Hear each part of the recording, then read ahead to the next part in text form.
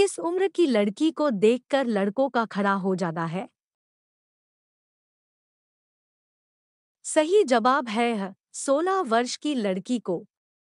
लड़कियाँ हमेशा आगे से ही संबंध बनाना क्यों चाहती है? सही जवाब है। ज़्यादा माजा लेने के लिए। पहली बार संभोग करते समय कौन ज़्यादा डरता है?